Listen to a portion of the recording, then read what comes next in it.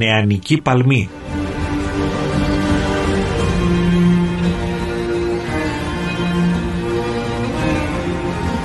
Αφορμές στοχασμού και προβληματισμού που αφορούν τους νέους.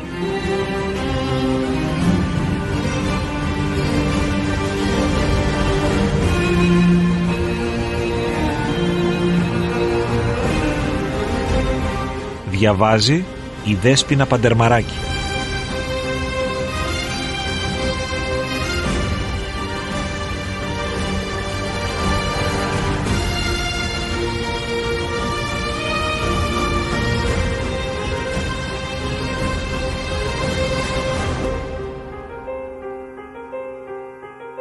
Αγαπητοί ακροατές, συνεχίζουμε την ανάγνωση του βιβλίου «Νεανικές αναζητήσεις» του Αρχιμανδρίτου Μαξίμου Παναγιώτου της Ιεράς Μονής Παραμυθίας Ρόδου.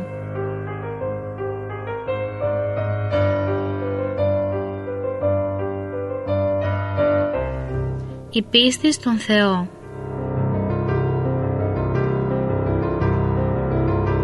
Τι θα πει πιστεύω στον Θεό; Το ρήμα πιστεύω έχει δύο σημασίες. Σύμφωνα με την πρώτη, πιστεύω στο Θεό σημαίνει ότι αποδέχουμε την ύπαρξη του Θεού. Εδώ αναφερόμαστε στη διανοητική πίστη, στην πίστη της λογικής. Ο Θεός καλύπτει τη λογική ανάγκη για την ύπαρξη ενός δημιουργού του κόσμου. Σύμφωνα με τη δεύτερη σημασία, Πιστεύω στο Θεό δεν σημαίνει μόνο ότι αποδέχομαι την ύπαρξη του Θεού, αλλά ότι εμπιστεύομαι τη ζωή μου σε Αυτόν. Εδώ έχουμε την υπαρξιακή πίστη, την πίστη δηλαδή ως τρόπο ζωής. Ο Θεός δίνει νόημα σε κάθε στιγμή της ζωής μου και γι' αυτό προσπαθώ πάντοτε να ζω σύμφωνα με το θέλημά Του. Κάποιοι δέχονται διανοητικά την ύπαρξη του δημιουργού, αλλά δεν αγωνίζονται να τον γνωρίσουν και να τον αγαπήσουν. Ο Θεός για αυτούς είναι μία απρόσωπη δύναμη που ενώ έφτιαξε τον κόσμο δεν ασχολείται με τη ζωή των ανθρώπων. Ο Θεός ως άπειρος και αιώνιος είναι πέρα από τα περιορισμένα όρια της ανθρώπινης λογικής. Η αλήθεια περί του Θεού είναι υπέρλογη όχι όμως παράλογη. Τα πανεπιστημιακά μαθηματικά παραδείγματος χάρη που είναι πάνω από τη λογική του μαθητή του γυμνασίου δεν είναι παράλογα αλλά λογικότατα. Έτσι και ο άπειρος Θεός είναι πέρα από την εμβέλεια των αισθήσεων και της λογικής του ανθρώπου. Κανείς δεν μπορεί να τον δει ούτε με τα τηλεσκόπια ούτε με τα μικροσκόπια. Ο άνθρωπος, ενώ δεν βλέπει τι υπάρχει πέρα από το σύμπαν και ούτε μπορεί να δει πολλά από τα υλικά στοιχεία της γης, όπως το οξυγόνο ή το υδρογόνο, είναι δυνατόν να δει το Θεό; Αν ο Θεός περιοριζόταν στις ανθρώπινες αισθήσεις και στην ανθρώπινη λογική, τότε δεν θα ήταν Θεός, αλλά ένα φυσικό «ον». Ένα φίλο σου τον γνωρίζεις καλά γιατί στις συζητήσεις σας σου ανοίγει την καρδιά του.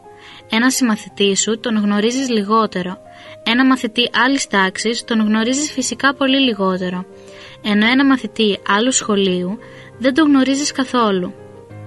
Κάτι αντίστοιχο συμβαίνει και με το Θεό. Επειδή και ο Θεός δεν είναι μία πρόσωπη δύναμη, αλλά προσωπικός Θεός με λογική, συνέστημα και ελεύθερη θέληση, τον γνωρίζουμε όσο μας αποκαλύπτεται μόνος Του μας αποκαλύπτεται μέσα από τη φύση ως πάνσοφος, παντοδύναμος και πανάγαθος δημιουργός και μέσα από την ενανθρώπισή του ως τοργικός πατέρας και λυτρωτής. Οι αγωνιστές χριστιανοί επίσης ευαριστούν στο Θεό και αυτός τους προσφέρει επιβεβαιώσεις της πίστης τους με αποκαλύψεις στην πνευματική ζωή τους. Η πίστη στο Θεό είναι μία έμφυτη λειτουργία, είναι μία λογική και υπαρξιακή ανάγκη για το λόγο αυτό σε όλο τον κόσμο υπάρχουν θρησκείες.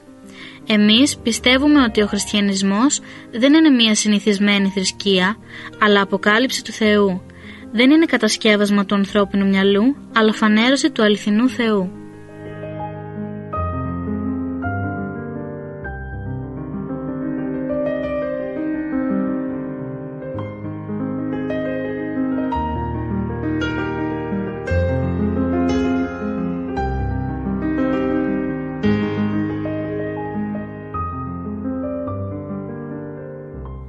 μήπως ισχύει το πίστευε και μία ερεύνα. Ο χριστιανός πιστεύει στην ύπαρξη του Θεού και ερευνά την αποκάλυψή του μέσα από τη φύση, την Αγία Γραφή, τα μυστήρια της Εκκλησίας και τις εκδηλώσεις της πρόνοιάς του θαύματα. Η φύση μας δείχνει την τελειότητα του Δημιουργού, ενώ η αποκάλυψη της Αγίας Γραφής την άπειρη αγάπη του. Ο πιστός δεν ερευνά την ουσία του Θεού, την οποία και οι άγγελοι ακόμα δεν γνωρίζουν, αλλά την αποκάλυψή Του, τις ενέργειές Του, ότι δηλαδή φτάνει σε μας δημιουργία, σωτηρία. Όσα δεν αποκαλύφθηκαν δεν τα γνωρίζουμε, ούτε είναι σωστό να τα υποθέτουμε και να τα φανταζόμαστε. Η έρευνα της φύσης και η βαθιά μελέτη της Αγίας Γραφής οδήγησαν πολλούς να βρουν το Θεό. Στη φυσική αποκάλυψη, φύση και στην υπερφυσική αποκάλυψη Αγία Γραφή και Ιερά Παράδοση βλέπουμε το χέρι του Θεού και τις μυστικές παρεμβάσεις Του στη ζωή.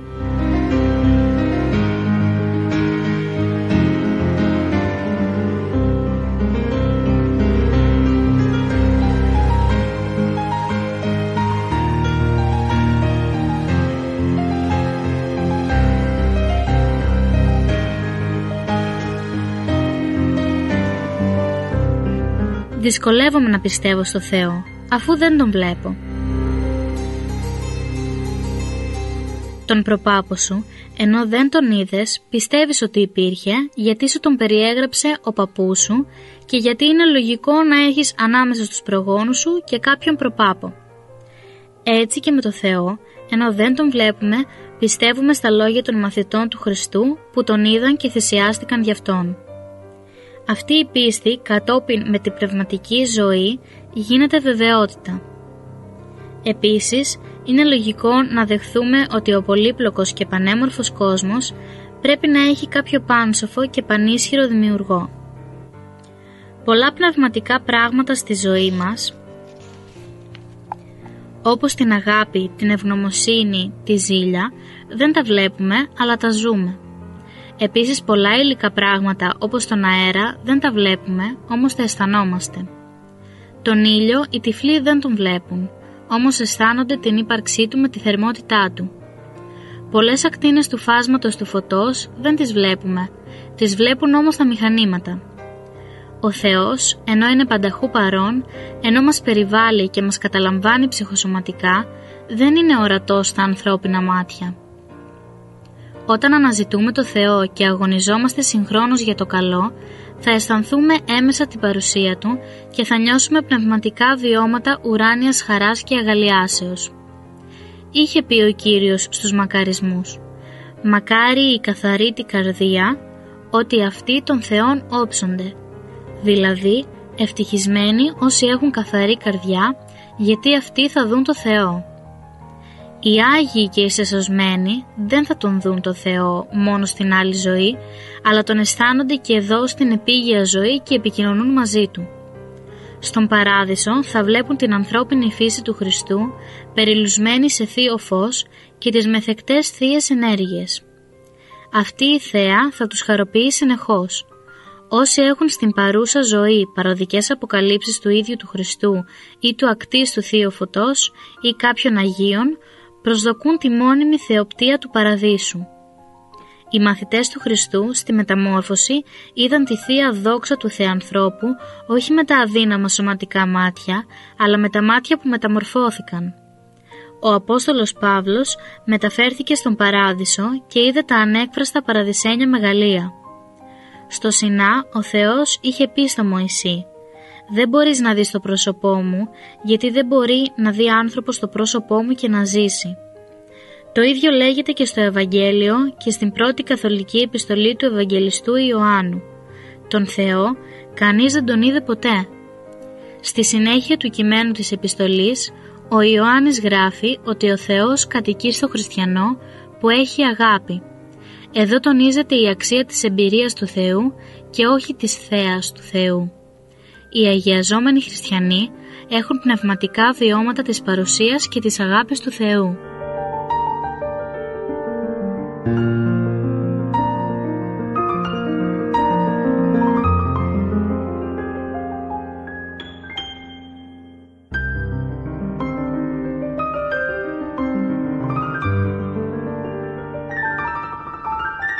γιατί δεν εμφανίζεται και σε μας ο Θεός για να τον πιστεύουμε με σιγουριά;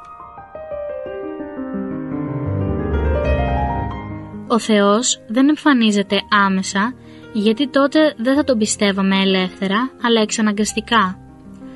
Τότε, σίγουροι για την ύπαρξη παντεπόπτη και δίκαιο κριτή, θα πράταμε το καλό όχι από αγάπη για το Θεό, αλλά κυρίως από φόβο της κολάσεως.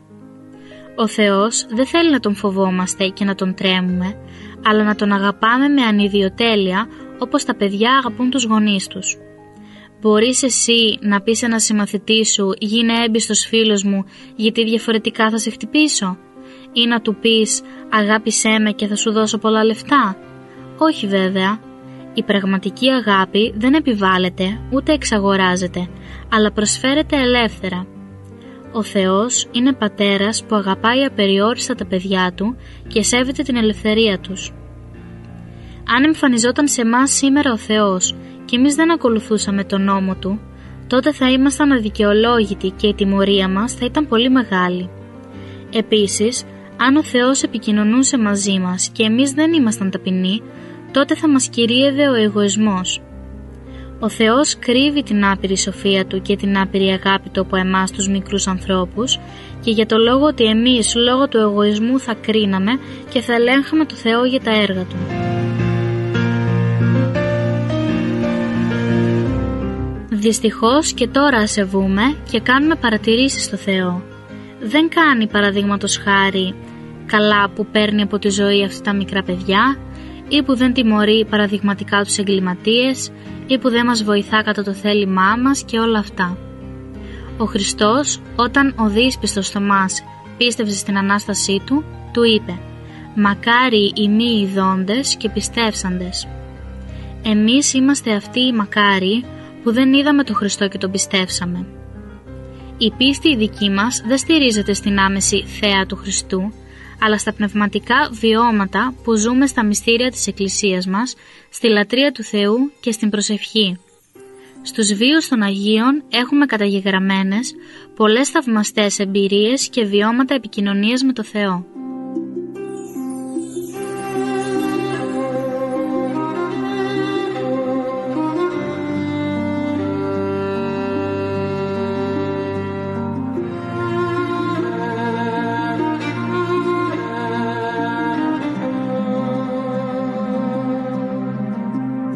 Θα ήθελα να είχα κάποιες λογικές αποδείξεις της ύπαρξης του Θεού. Μήπως η λογική μας είναι πολύ μικρή μπροστά σε αυτό το άπειρο «ον» το Θεό; Το μυαλό εξάλλου δεν εξηγεί τα πάντα. Και οι θετικές επιστήμες στην έρευνα των φυσικών νόμων πολλές φορές έκαναν λάθη. Πολλές επιστημονικές θεωρίες ανασκευάζονται ή κρίνονται ως λανθασμένες. Απόλυτες αποδείξεις της ύπαρξης του Θεού δεν υπάρχουν. Μόνο έμεσες ενδείξεις υπάρχουν. Και αυτές μας αφήνουν περιθώρια αμφισβήτησης και άρνησής Του. Ο Θεός δεν αποδεικνύεται με τη λογική, αλλά βιώνεται με την ύπαρξή μας. Αν η επιστήμη αποδείκνει την ύπαρξη του Θεού, τότε όλοι θα εξαναγκάζονταν να πιστεύουν στο Θεό. Ακόμα και η απλή παρατήρηση της όμορφης φύσης οδηγεί κάθε καλοπροαίρετο στην πίστη προς το Θεό. Συμβαίνει κάτι ανάλογο με τη θέα ενός εξαίρετου ζωγραφικού πίνακα. Ο θεατής του, καθώς τον θαυμάζει, φυσιολογικά σκέφτεται ότι υπάρχει δημιουργός του και μάλιστα ταλαντούχος. Η απλή λογική λέει ότι η τάξη της φύσης μας οδηγεί σε κάποιο σοφό σχεδιαστή και κατασκευαστή. Πιο λογικό είναι να δεχθούμε ότι υπάρχει δημιουργός παρά τύχη. Τα σύνθετα όντα και οι τάξεις στον κόσμο προϋποθέτουν κινητήρια και δημιουργική σοφή δύναμη των Θεό. Δεν εξηγείται από την τύχη ο αρμονικός και τέλειος συνδυασμός τόσων στοιχείων στα συστήματα του ανθρώπινου οργανισμού, καθώς και τόσων ευνοϊκών συνθήκων στο υγιεινό περιβάλλον για την ύπαρξη της ζωής. Στα όντα επίσης βλέπουμε να υπάρχει κάποιος ρόλος που υπηρετούν στη ζωή, κάποιος σκοπός. Όλα φτιάχτηκαν για κάτι, Τίποτε δεν είναι άσκοπο και τυχαίο. Ο λογικός σκοπός των όντων μας παραπέμπει στο σοφό σχεδιαστή, στον Θεό. Ο Θεός δεν έφτιαξε τον κόσμο και μετά τον εγκατέλειψε, αλλά πάντοτε τον επιβλέπει, τον καθοδηγεί, τον κατευθύνει και τον προστατεύει. Στη ζωή μας, ενώ βλέπουμε ότι ο πόθος μας για μια τέλεια αγάπη και δικαιοσύνη δεν ικανοποιείται, συνεχίζουμε να τις αναζητούμε. Θέλουμε την τέλεια αγάπη και την τέλεια δικαιοσύνη, μα πουθενά δεν τις βρίσκουμε. Η αγάπη είναι σχετική και η δικαιοσύνη ελλειπής. Πολλές φορές, ακόμα και στενοί συγγενείς και φίλοι προδίδουν την αγάπη. Λογικό είναι να υπάρχει κάποιος που δεν θα μας προδώσει ποτέ και θα είναι το τέλειο πρότυπο της αγάπης, ο Θεός. Κακοί άνθρωποι βλέπουμε να καλοπερνούν και καλοί να κακοπερνούν. Ο έμφυτος ηθικός νόμος, όμως η συνείδηση, μας λέει πως το άδικο πρέπει να τιμωρείται και το δίκαιο να επιβραβεύεται. Λογικό είναι λοιπόν να υπάρχει ο κριτής που θα αποδώσει δικαιοσύνη είτε στον κόσμο αυτό είτε στον άλλο. Όλοι οι αμετανόητοι αμαρτωλοί θα υποστούν τις συνέπειες των επιλογών τους και όλοι οι μετανοημένοι και αγωνιστές του θελήματος του Θεού θα ανταμυφθούν και τις αρετές τους. Η ανάγκη της πίστης στο Δημιουργό αποτελεί φυσική αναζήτηση κάθε ανθρώπου σε όλα τα μήκη και πλάτη της γης. Ο Θεός ενστάλαξε σε όλους τους ανθρώπους τον πόθο να τον αναζητούν. Εμείς οι χριστιανοί έχουμε την εύνοια της μοναδικής αποκάλυψης του Θεού. Ο πιστός χριστιανός βρίσκει το Θεό μέσω της πνευματικής ζωής. Μέχρι να φτάσει να έχει εμπειρίες Θεού, βρίσκει το Θεό στη ζωή των Αγίων του παρελθόντος και του παρόντος. Οι Άγιοι κάθε εποχής μας δείχνουν ότι ο Θεός δρά μέσα στην ιστορία και οδηγεί κάθε αγωνιστή στον αγιασμό. Αν εμείς αναζητούμε γνήσια του Θεό και αγωνιζόμαστε να γίνουμε καλοί χριστιανοί, ο Θεός που μας αγαπά στον ύψιστο βαθμό θα μας προσφέρει ακόμα και φανερά σημάδια της παρουσίας Του.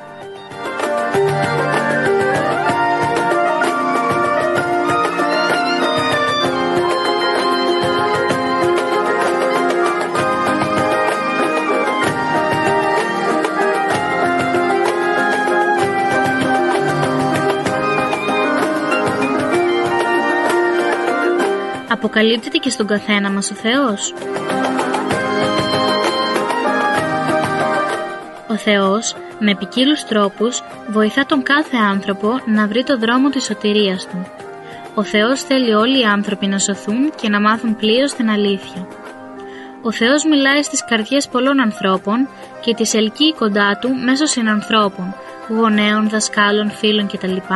και άλλες φορές μέσω έντονων καταστάσεων, ασθενειών, αποτυχιών, κινδύνων θανάτου, θανάτου αγαπημένων προσώπων κτλ. Πολλές φορές ακούμε να γίνονται θαύματα θεραπείων μπροστά σε λείψανα ή εικόνες Αγίων. Στην Παναγιά της Θήνου, στον Άγιο Νεκτάριο, στην Έγινα και αλλού. Επειδή το θαύμα φανερώνει άμεσα την παρουσία του Θεού, πολλοί συγκινούνται, στρέφονται προς το Θεό και ζουν στο εξής θεάρεστα. Πολλοί άνθρωποι, καθώς προσεύχονται, αισθάνονται ανεξήγητη παρηγοριά στις θλίψεις τους, αλάνθαστο φωτισμό στα διλήμματά τους και ανέκφραστη πνευματική αγαλίαση. Όλα αυτά τα βιώματα είναι καρπός της χάρης του Θεού που έρχεται στον προσευχόμενο.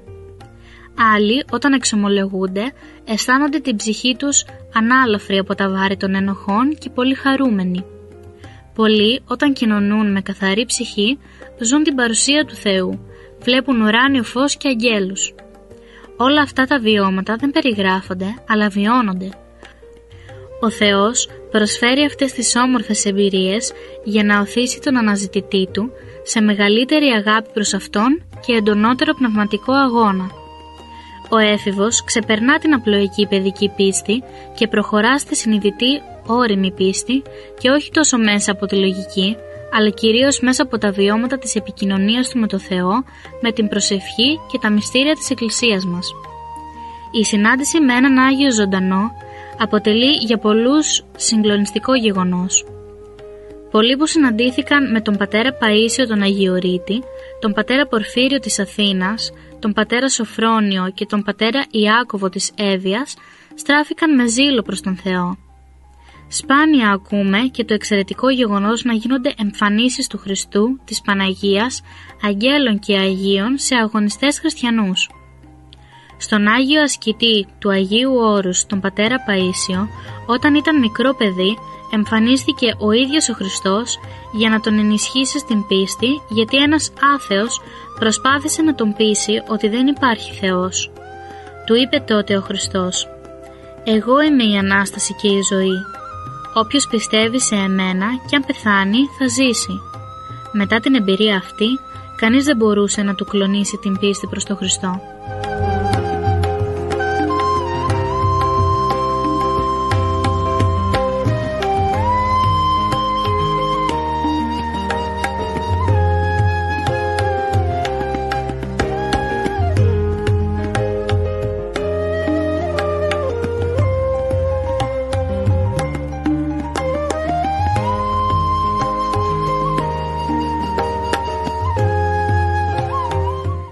Είπατε πως η πίστη σημαίνει και εμπιστοσύνη. Πώς την εννοείτε;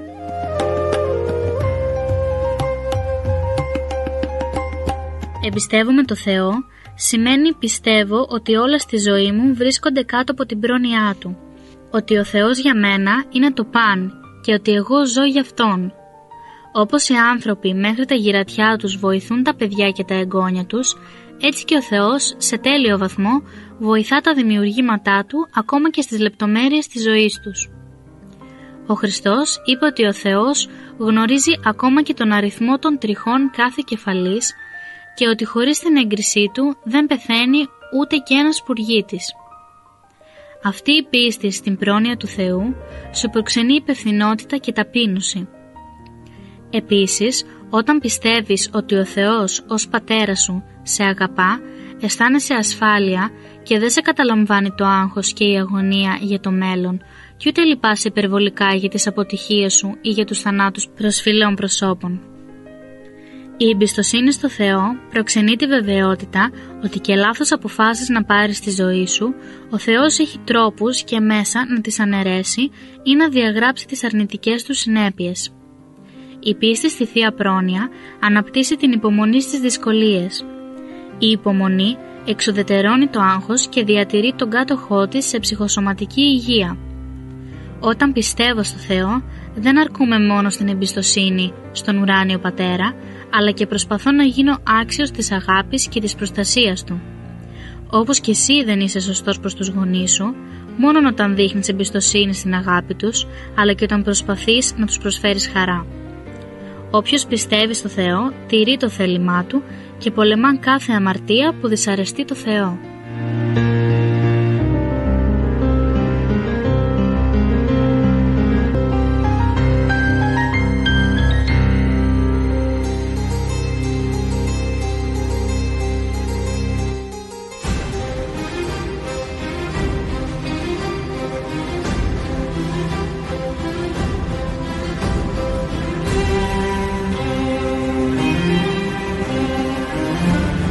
Νεανική παλμή.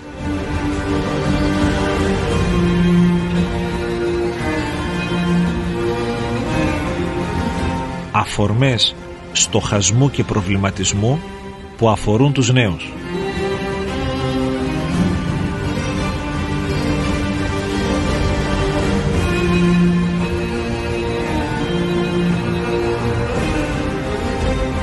Διαβάζει η Δέσποινα Παντερμαράκη.